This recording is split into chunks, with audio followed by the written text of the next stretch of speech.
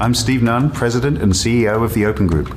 Welcome to Toolkit Tuesday, where we highlight the various components and leading experts of the Architect's Toolkit, a collated portfolio of the most pertinent technology standards for enterprise architects. During the series, I'll be calling on a number of recognized experts who will bring their particular insights on how to most effectively use the various tools in the Architect's Toolkit. We'll have a mix of interviews, panel sessions, and pre recorded presentations along the way. While all standards of the Open Group are designed so they can be adopted independently of one another, the greatest value for an organization can be derived when they're used in unison. The sum of the parts should be greater than the whole. In the Architect's Toolkit, we have collated a portfolio of the most pertinent ones for architects together all in one place.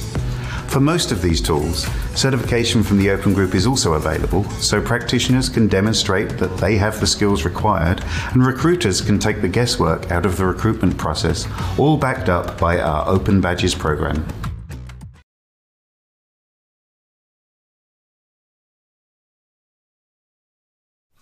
I've been looking for a while now at ecosystems. And obviously, before that, looking at enterprises when we talk about enterprise architecture. And for me, it's, it's, all only ever been about architecting, with a big focus on commonality, standards, reuse, and shared practice, etc. One question it raised, as noted by my friend Neil Fishman, is Is there really such a thing as an enterprise in that context when we get big? Most organisations we actually work with are actually seeking to achieve many, many goals. A single holding name or an individual CEO doesn't mean there's a single coherent set of shared goals.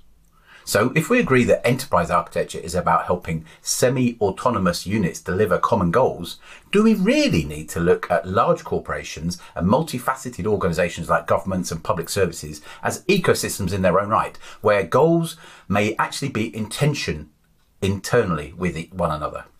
Is that why enterprise architecture has had a tendency to drop more often to the lowest common denominator of technology provision rather than succeed universally at business architectural levels? Is it time for ecosystems?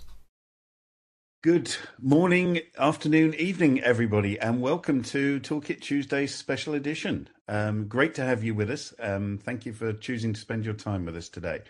Um, we, uh, my thanks, of course, go to uh, Paul Homan, uh, as usual, um, distinguished engineer with um, IBM, for his EA minutes. And uh, those of you who saw the last Toolkit Tuesday um, special will have heard about ecosystems architecture, and uh, that is something that we are. Uh, working on inside the open group and and is attracting a lot of interest right now. So um, uh, it, it's a great question to ask. Um, you know, what is it time for ecosystems and not restricting ourselves to the enterprise? Um, one thing I do hope is it doesn't open up all the uh, old conversations about uh, enterprise architecture, IT architecture, solution architecture, technical, all all of that good stuff. Because uh, as a as a profession, architects have spent a lot of time uh, figuring that stuff out over the years.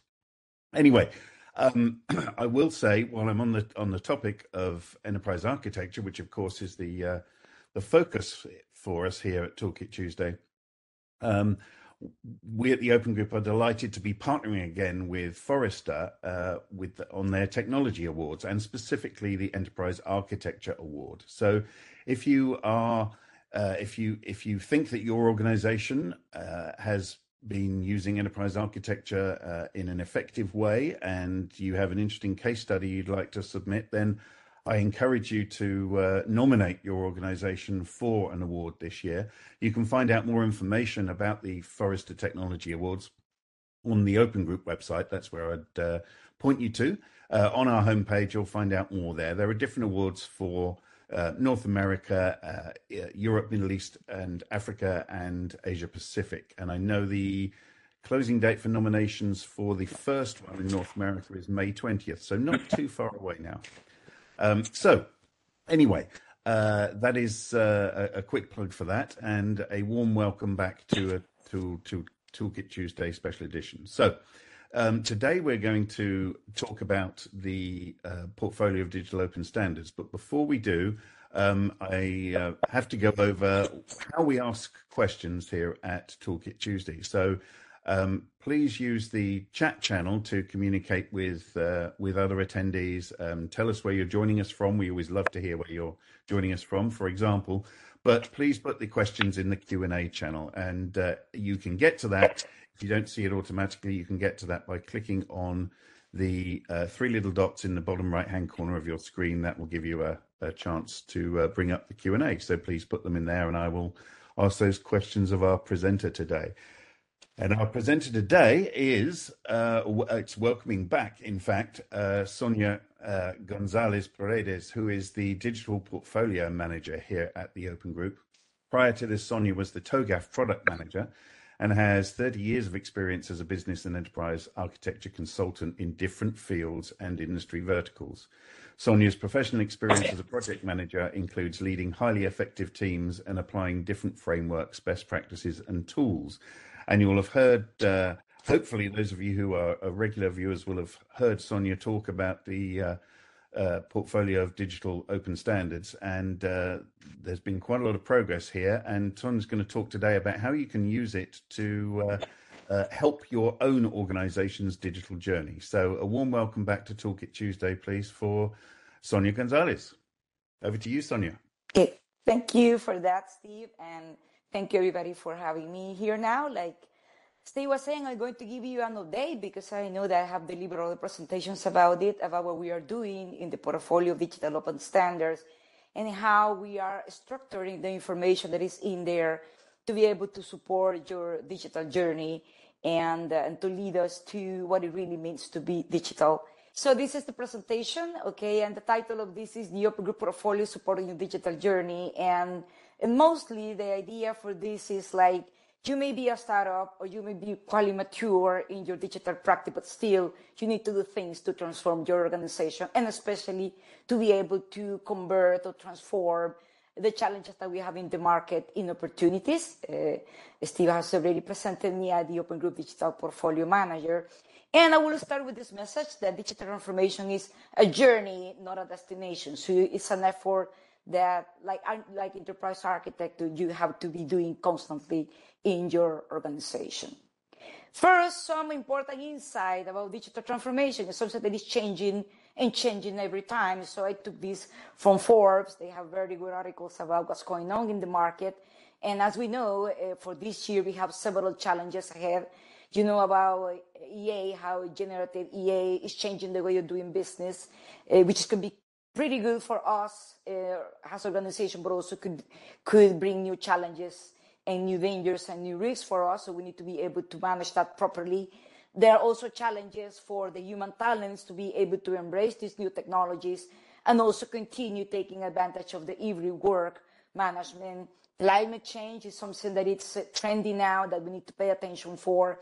And also sustainability, which is a topic that here at the Open Group we are taking very seriously. How to sustain the environment that we live in, but also how to sustain your organization to be more efficient and also time with the with the with our planet. Uh, there are of course new regulation, privacy, cybersecurity even more and more with all those new trends, especially with artificial intelligence, uh, which is how now a new disruptive business model. We have cryptocurrencies, also has another new business model that is uh, raising, and also things like there are new, of course, uh, there are new like virtual reality and deliverables. All these represents real challenges, but also could represent opportunities in this digital journey. So the question that need to be asking ourselves is, how are we going to start this journey? How are we going to transform being sustainable and scalable? Meaning, in this journey, we can start, but we need to be sure that this is an ongoing effort uh, to get uh, to to get into your into our goal. So we need to take some some action in this and start a transformation process. Before doing that, it's very important to make some very basic distinctions because believe it or not, uh, there are people that are still confused about what really digital transformation is.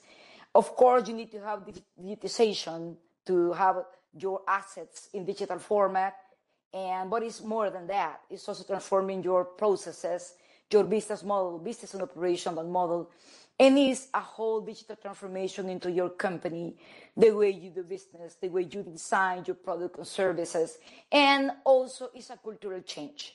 because you need to also change your people, your skills, and to make them understand that this transformation is for good uh, instead of creating the usual human resist- resistance to something new. So that's why it's very important to have this digital distinction before you start your journey.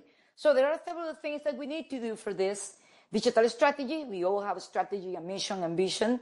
However, we need to have a new component in there. How are we going to compete in this new changing world and to face these new trends and make them become opportunities for us? Of course, who's my customer? My customers are more demanding.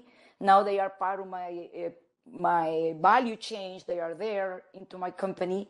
So we need to uh, to offer uh, something digital, a better digital offering. Of course, digital platform for that digital offering, supported by a digital backbone, which means operations, infrastructure, um, assets and capabilities, which is of course also supported by uh, the right organizational design. You know, right now having still a hierarchy structure is not really flexible and good enough for uh, really uh, taking this journey. And of course, the workforce management, uh, building new skills on people, but also making them to be so attractive to be in the company, they will not leave the company because you need to build this workforce to be stable for you. Innovation is a key word in here. You need to innovate to be able to compete and to take the best value from these new technologies as well. And all this is supported also for flexibility, this balance between flexibility and governance. It needs to be a balance between uh, autonomous teams that are related with having a, a less hierarchy organization, but also having metrics and to be sure that you are aligned with your strategy. And all this is meant to be sustainable and to scale. You know, you need to be able to sustain your practice till you are uh, getting along into this transformation journey. So the question here, how, how do I do that? It looks like a lot. The question is start small and keep the ongoing effort. Uh, try to eat the elephant by small bites, one at a time, and continue incrementally giving value. For those of you that are architects, this is, sounds a lot like architects uh, as we do the assess and to be and identify gaps. It's not very different for this. And actually, there's a very good blog that we have in our uh, library, which was delivered by Terence Blevins, who is uh, an outstanding contributor of the Open Group and a fellow, who will, he said that enterprise architectures is a package of tools that will help you precisely to take the right choice for really transform your organization to face digital transformation in a sustainable manner. So I invite you to also take a look to this blog that is in our Open Group blog site. And there are some steps that you need to take in this journey. First, like I was saying, you need a new business model. You need to transform that. You need digital marketing. You need a strong operational backbone. You need to go deep into your offering, know your customer. Data intelligence, this is basic now. To know your customer, profiling your customer, and actually is the basis for artificial intelligence. Improve your customer experience, this is key. You know, now your customer, uh, they are uh, used to the three clicks principle or even less than that, you should be able to offer them something that is in which they will value, find value quickly and go to a more innovation into a digital offering and digital design. And of course, all that supported by the right processes, operationals, and the right application and infrastructure. All of that connected and with the cultural change in there and doing this, like I said, has a journey and a stepwise approach. But with, for that, we need standards. And like Steve was saying at the beginning, at the Open Group, we offer a set of standards that all of them are strong, but are they even stronger when they are used together. And all of them are very good uh, to support digital transformation. So this is our vision into the portfolio of digital open standard to position the Open Group as the premier source for open standards for the digital world. So that's our mission and you may be asking, okay, how are you going to make that happen? And also stepwise, so how are we going to make this vision to materialize? First, we need to put together all of our standards. You know, all of them, of course, are in the Open Group library, but we need to put them in a platform that will allow us to to look for the content, to search for the content, to have everything in the same channel in a way that you can cross link and navigate through the different standards because it doesn't matter if you're an architect or a digital practitioner or an IT expert or, a, or an expert in customer uh, service, at the end of the day, you look for your customer benefits. So you can use all standards together and at the same time. We are also starting to offer our standard as code, meaning offering a platform that will allow us to deliver value quicker to the to the market and of course going for smaller modular pieces of of, of content that we are going to be delivering in an incremental way. And all that, of course, is supported by cross collaboration and openness, which is uh, one of our basic open group principles. Uh, as we know, especially once that you are members, uh, we work by consensus, we work together with our members, and this portfolio of digital open standards wouldn't be possible if we were not working as a team with the different forums to create this collection of standards that we are offering in this digital platform. So we are, we are offering now our standard digital products in a digital platform. And what is new, because one of the principles is to incrementally deliver value over time. We try to offer value every quarter. But now, uh, besides the portfolio that holds standards, snapshots, guides, and formal documents, we are also going to be releasing in, in the Edinburgh event, which is happening in a couple of weeks, a portfolio of case studies that's also going to be fed incrementally. So at the moment, the content of the portfolio is the TOGAF Standard 10 edition, which is in process to be fully implemented. At the moment, uh, there's already a connection with the TOGAF Standard 10 edition. We have the, the digital practitioner body of knowledge, the open agile architecture, the IT4IT standard, Archimate standard, and content for security standards as well. All of them put it in a way that uh, create, you can use it along with social market, digital marketing. It has a search engine. It's completely web-based, HTML-based. We're going to plan to start using AI pretty soon. That's part of the things that the company is doing. Of course, like also Steve mentioned, there's a, a portfolio of certification programs available for all that. Enterprise architecture is, of course, in the center, as well as cross collaboration. And the new component that I was mentioning is now having the practical case studies, which is the new delivery that we are going to offer and release in Edinburgh. So you may be asking what's happening with the library then. The library is, uh, is a richer source of material that we have at the Open Group.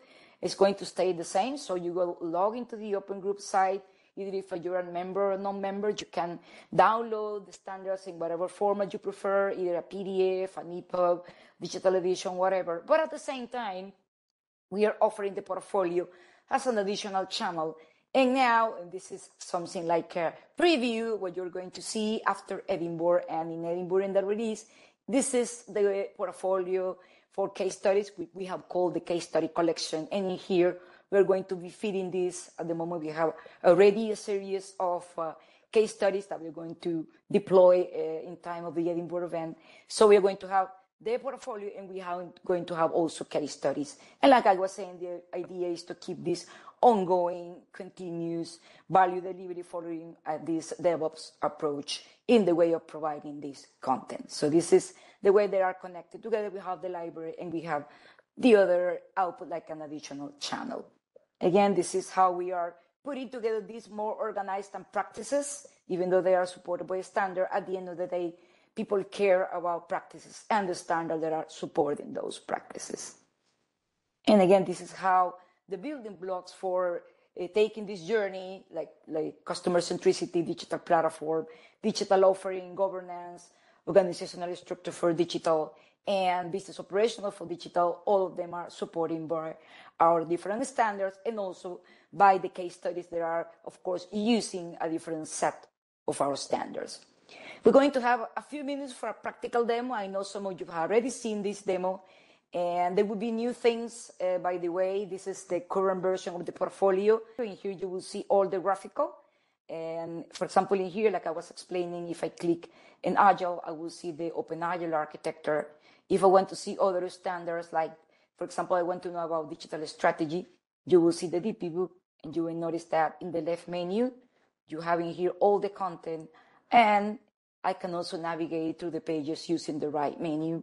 And there are several graphical uh, uh, views in here. For example, we have a life cycle view, which is, by the way, you will see an improved version of this in the in the release that is coming in Edinburgh.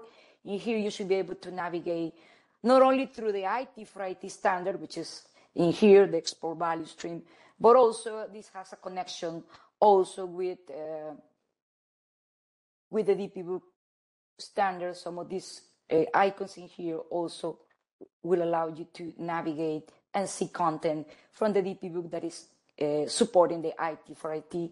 And so you can, again, use the left menu, use the different visualization. We have another visualization uh, for, for the DPBoK that you can also click. And you can also use the search facility. For example, if I click digital, for example, of course, I will get a lot of entries. And you will see here that I have content from the DPBoK, definitions from the glossaries. I have also content from the um, IT4IT standard and another content that is in here. So you can, and if you, of course, you click in here, you will see, you will be directed to the exact place where the content is. You go back and you continue seeing the search. So this is uh, one of the benefits of this is like that you again can look for the value through the different places into the standard.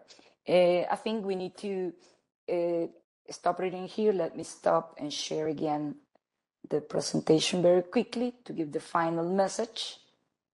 And it is the final message that coming together is a beginning, but keeping together is progress and working together is success. So again, at the Open, we believe that this synergy between our standards and our forums is the key for success. So I invite you to take over the digital portfolio, start exploring it, to find the benefit, and send us your feedback. That is very important for us. And especially be aware of the ones of you that are going to be in Edinburgh uh, you will be able to see the thing um, happening there.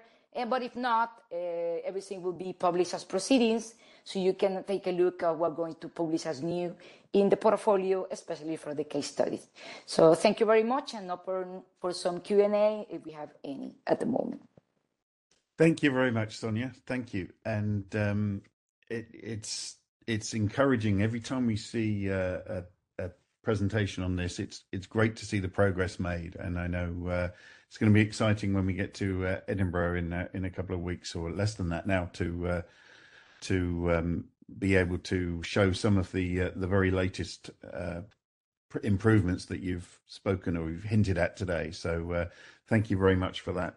Uh, and congrats to the whole team who's in, involved in this. It's uh, it's great stuff. So um, get to some some questions um, before, and I'll come back and talk about the uh, the summit in Edinburgh right at the end. But but um, first first question uh, here. Um, as as organisations are increasingly creating digital products, is there anything in the portfolio that covers digital product management and, and can help guide people through that um, fairly new area? Uh, actually, yeah, there's some valuable content about digital product value stream and management in the new version of the IT4IT standard, which is integrated into the portfolio. There is some also useful content into the DPBoK. But as I was mentioning, we are in a constant improvement and we are also restructuring the digital practitioner body of knowledge and precisely digital product management in one of the guides that we are we're calling them playbooks. Uh, so keep the tune because probably sometime by mid this year or October the latest, we will be releasing more about that. But at the moment, there's content about digital product management uh, in the IT4IT standard, uh, a little bit in the DPBoK, and also you can find some interesting concepts about product design and innovation in the open agile architecture as well. Okay, great, thank you.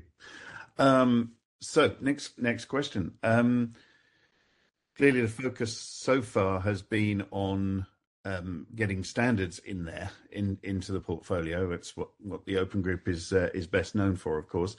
But uh, is, uh, is there a plan to include information about specific industries or verticals uh, inside the portfolio so that it's uh, kind of more directly uh, appropriate or tailored somewhat for for specific industries? Yes, actually, the idea is like if the the reference lands over a guide or a standard format, is going to be in the portfolio. If it is something more practical, it will land over the case study collection. Both of them will be connected. So, and by the way, I couldn't present the case study collection because we haven't released it yet. But in right. there, we have organized the icons by vertical. So you will see government, industry, services, research, And some people have said, why don't you organize the NBAM practices? So probably we'll have several different phases for that, depending on the progress. But the response is yes. And actually, there's already conversation with the Healthcare Forum to probably include the HERA reference architecture in the portfolio. Right. Okay. Okay. Good. Well, you've you've sort of answered the uh, the the next question that that's uh, that's come in, and um, probably the last one in, from a time point of view. But is there any more you can say at this stage about what case studies will be published? Um, there are a couple of case studies from Archimate. I think the ones of you that are familiar with Archimate may guess which one those are. And uh, it's also um, there are three case studies that were given for by the government EA. Uh, as you know, uh, the India team has been uh, uh, sharing and generating all these India awards. So those case studies are also going to be there. And right. we already have three that have migrated. There are more that are coming. And some of these case studies, I'm familiar with them because I had the honor to be the judge uh, for that. And those case studies are really a real practice from our standards. So right. really, whenever there are, there's more coming. There's a long list of case studies that I know the India team is going to be giving us, besides another ones that may come uh, from Archimate and and probably also from the digital space. And also, if you have a new a case study, even if you're not a member, you can send out that case study. We can publish that in the library and also add it into the case study collection. Right. Okay. Sonia, in the interest of time, we're going to leave it there. But uh, thank you very much for the for the update on this, and um, I encourage everyone to uh, look out for uh, more on the portfolio of digital open standards as we move forward. So for now, thank you very much, Sonia Gonzalez. Thank you. Thank you very much. Thank you for having me. Bye. Take care. So bef- before we wrap up, folks, um, uh, just uh, Sonia had mentioned uh, Edinburgh a few times. The Open Group is hosting a summit uh, at Edinburgh um, a week after next, actually, April 22nd to 25th um, in Edinburgh at the uh, International Convention Centre there. And uh, the theme of the event is ecosystems architecture and AI standards. So you'll hear more about the ecosystems architecture uh, topic for sure. And you'll also um, hear more about the uh, portfolio of digital open standards. But it's it's going to be a, gr- a, great event. Many of our forums and work groups are there. Uh, obviously, Toolkit Tuesday is a very much a global audience, so many of you won't be able to uh, be in the area of Edinburgh in Scotland. So um, uh, I appreciate that. But uh, any of you who are in the UK and uh, and tempted to go, we'd love to see you there. Uh, more information on our website. Um, and uh, as for Toolkit Tuesdays, well, we used to run these every every two weeks, as you may know if you have attended one before and um, then we uh, we put them on pause and said we'd come back for specials. Now there's a lot of demand for the specials, so we are actually going to come back um, in a month's time, and uh, we're looking at possibly coming back uh, on a monthly basis for a while. Um, because there is uh, a lot of demand from the audience and also from uh, from presenters who want to share um, tools and tricks that they might have uh, that might help enterprise architects too. So next one will be May 14th. Watch out for that. Um, we'll announce the uh, topic soon. But meanwhile, thank you for joining us today. Uh, thank you again to Sonia, our presenter today. And uh, I hope wherever you are in the world, um, you'll keep safe and well and see you next time. This has been Toolkit Tuesday. Thank you.